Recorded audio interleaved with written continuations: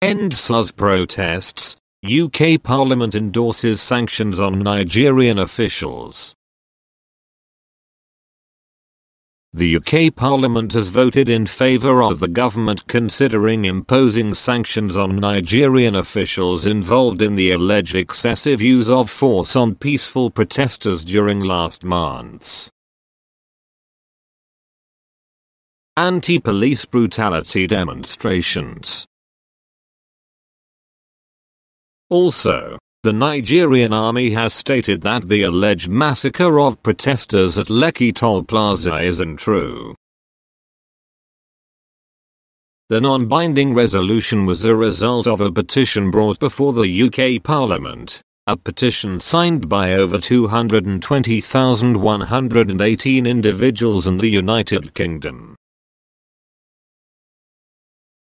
Asking the UK government to sanction Nigeria for alleged violations of human rights. The Nigerian authorities have continued to deny that security forces opened fire on peaceful protesters.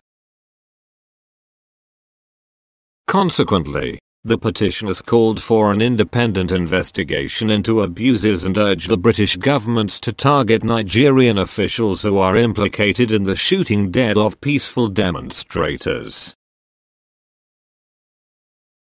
During last month's protests against police brutality.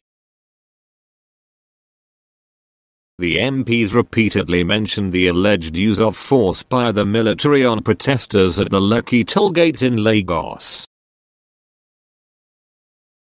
They also condemned the freezing of protest organizers' bank accounts and stressed that the right to peaceful protest was a key component of democracy. An MP, who was speaking on behalf of the British Minister for Africa. embraced Nigeria's decision to investigate alleged rights violations and the disbandment of a notorious police unit, the Special Anti-Robbery Squad, SARS.